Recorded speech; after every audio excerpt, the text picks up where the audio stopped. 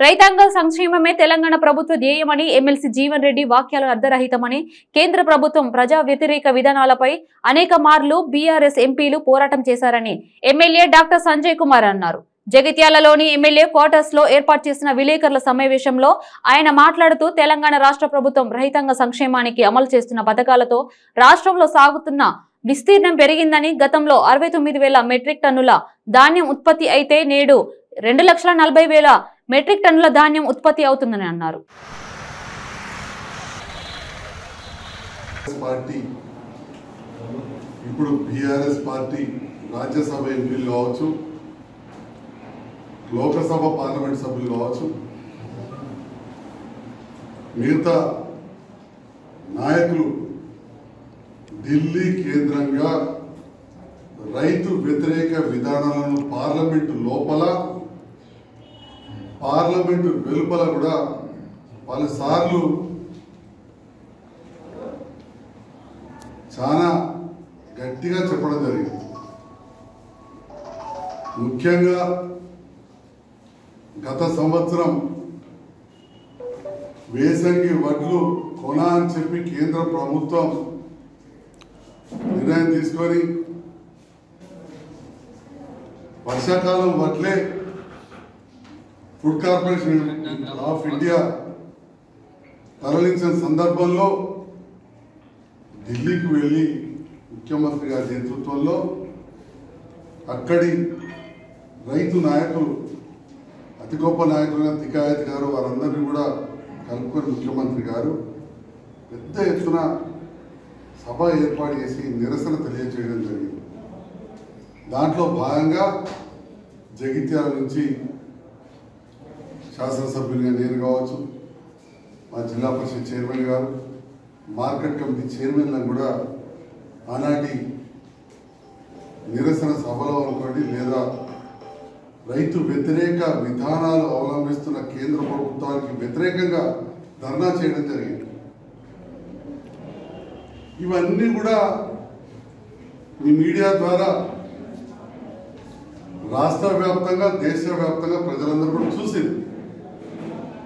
ఎన్నోసార్లు మన గౌరవ మంత్రివర్యులు సివిల్ సప్లైస్ మంత్రి గంగుల కమలాకర్ గారు కావచ్చు వ్యవసాయ శాఖ మంత్రివర్యులైన మన నిరంజన్ రెడ్డి గారు పువ్వాడ అజయ్ గారు కూడా ఈ ఉపాధి హామీ పథకాన్ని ఏదైతే ఇవ్వడం జరిగిందో కొంత కూలీలకు నాలుగు పైసలు వచ్చినాయి కానీ ఒక గ్రామంలో యాభై లక్షలు అరవై లక్షలు డెబ్బై లక్షల రూపాయలు పనులు జరిగితే అసెట్ క్రియేషన్.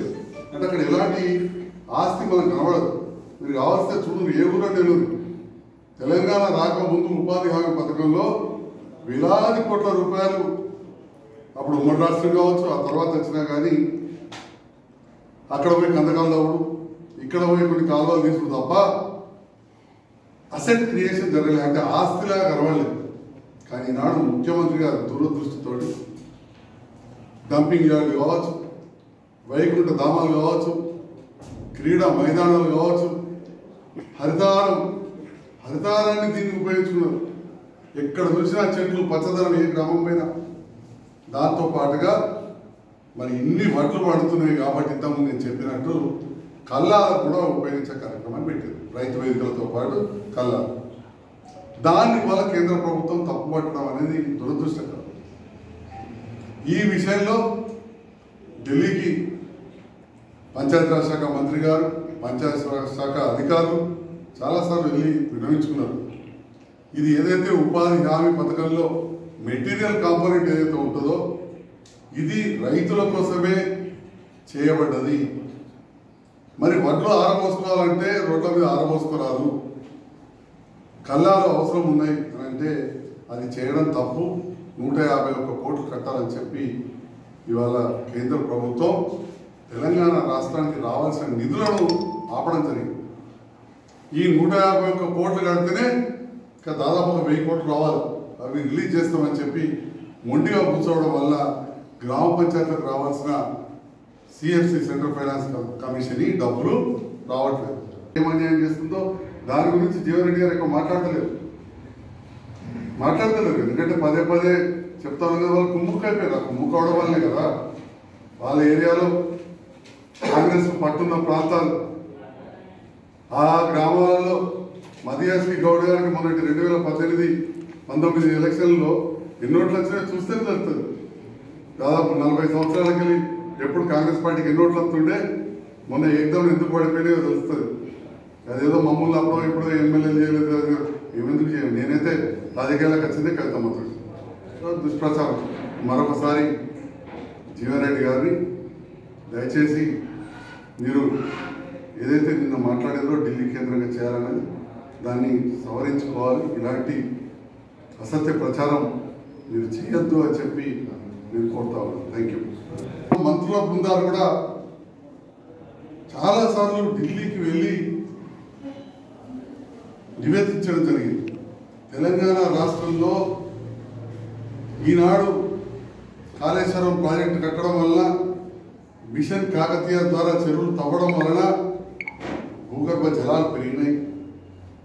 రైతులకు నాణ్యమైన విద్యుత్ ఇవ్వడం వలన మోటార్లు ట్రాన్స్ఫార్మర్లు కాలక ఈ నీటిని వినియోగించుకుంటూ ప్రభుత్వం ఇచ్చే పెట్టుబడి సహాయాన్ని తోడుగా తీసుకొని సమయానికి అందే విత్తనాలు కావచ్చు ఎరువులు కావచ్చు ఇవన్నిటి వలన తెలంగాణ రాష్ట్రంలో పంటల ఉత్పత్తి పెరిగింది.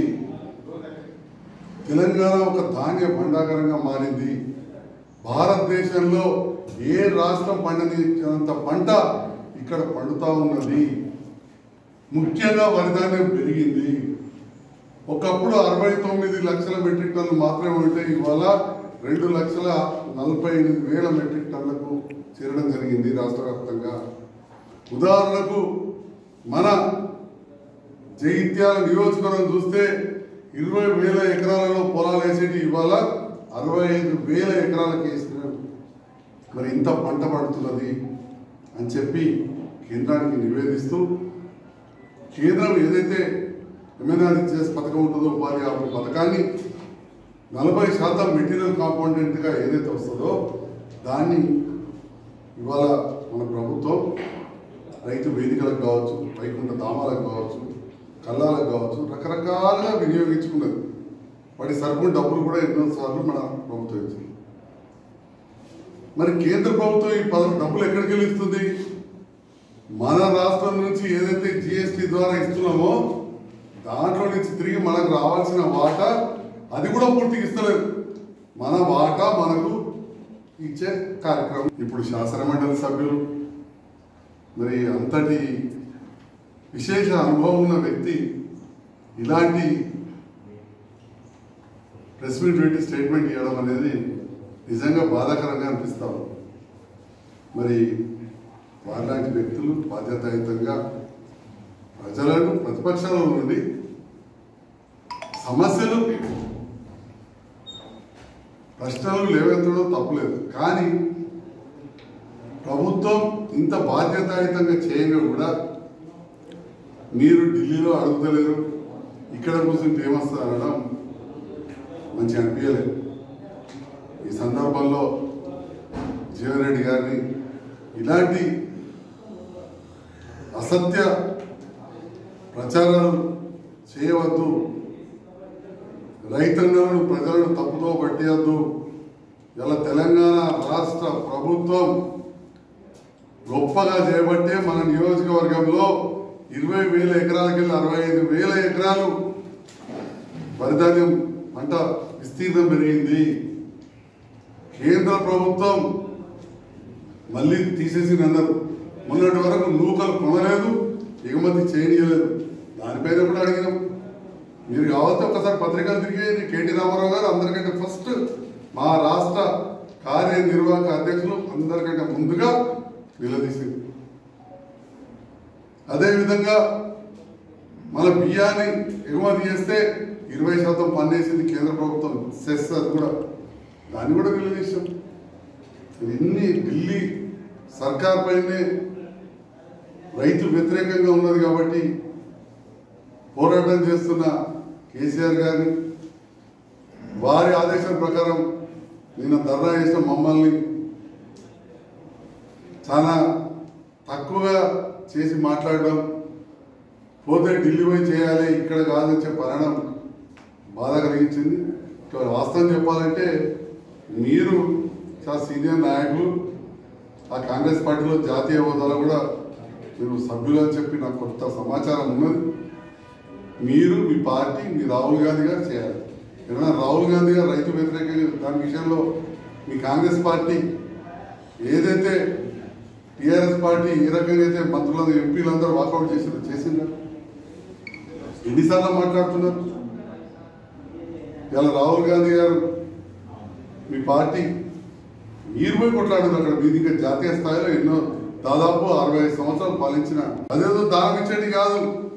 మన తెలంగాణ నుంచి ఏదైతే డబ్బులు కేంద్రానికి జిఎస్టీ ద్వారా పోతాయో మనం సబ్బు కొంటే నూనె కొంటే పౌడర్ కొంటే మందులు కొంటే ఏదైతే పోతాయో అందులోకెళ్ళి మనం నలభై శాతం ఇవ్వాలి అరవై శాతం దేశం వాడుకొని. ఆ నలభై శాతంలో మీరు ఇచ్చేది కొద్దిగా ఎక్కడైనా విద్యకి ఇచ్చినా కొంత వైద్యానికి ఇచ్చినా కొంత ఎరువుల సబ్సిడీకి ఇచ్చినా ఉపాధి హామీకి ఇచ్చినా ఊర్లకు ఇచ్చినా మున్సిపాలిటీలకు ఇచ్చినా మనం పంపే నూరు రూపాయలకి వెళ్ళి నలభై పైసలే. ఆ నలభై పైసలు కూడా ఇస్తలేరు ముప్పై పైసలు కూడా ఇస్తలేరు. ముప్పై కంటే కూడా తప్పిస్తున్నారని చెప్పి ఆర్థిక శాఖ మంత్రి హరీష్ రావు గారు మీ అందరికి ప్రెస్ మీట్లో చెప్పారు అక్కడ మోతే గ్రౌండ్లో. అంటే ఇంత స్పష్టంగా ఢిల్లీ కేంద్రంగా పోరాడుతూ ఇక దిగస్తలేదని చెప్పి కేసీఆర్ గారు టీఆర్ఎస్ పార్టీ మార్చేసి తెరాసాను బారాసాగా చేసి భారత్ రాష్ట్ర సమితి చేసి ఇక ఢిల్లీ సర్కార్నే కూల్చడానికి సిద్ధమైన గౌరవ ముఖ్యమంత్రి గారిని మా పార్టీని మీరు ఢిల్లీ కేంద్రంగా మాట్లాడాలి గీడ కాదు అని చెప్పి నిన్న జీవన్ రెడ్డి గారు ఏదైతే అన్నారో నిజంగా కొంత బాధాకరంగా అనిపిస్తా ఉన్నది. నేను చాలాసార్లు అంటుంటా కొందరు నన్నేమో కళ డాక్టర్ కదా ఈయన కనబడతలేదు అంటారు నేను అట్లా మాట్లాడాను పెద్ద కానీ బాధ్యత గల వ్యక్తి కదా జీవన్ రెడ్డి గారు మరి అనుభవజ్ఞులు మరి తెలియదా? ఢిల్లీలో మేము ఇప్పుడు నేను చెప్పిన కార్యక్రమాలన్నీ చేసిన జీవన్ రెడ్డి గారు తెలియదా? తెలిసి కూడా మీరు గీడ కాదు ఢిల్లీలో అని చెప్పి నేను ప్రెస్ మీట్ పెట్టారు. ఏం చెప్పాలి? కొంతమంది తెలియని వాళ్ళు ఏమనుకుంటారు? కరెక్టే. ఈ వీళ్ళు గీడ ముసుకునే వాళ్ళు ఢిల్లీ పోయేది ఉండే అనుకుంటారు. మేము పోలేదు ఢిల్లీ. పసుపోటు కోసం పోయినాం ఈ బట్టల కోసం పోయినాం. కళ్ళాల విషయంలో మంత్రులు పోయారు అధికారులు పోయారు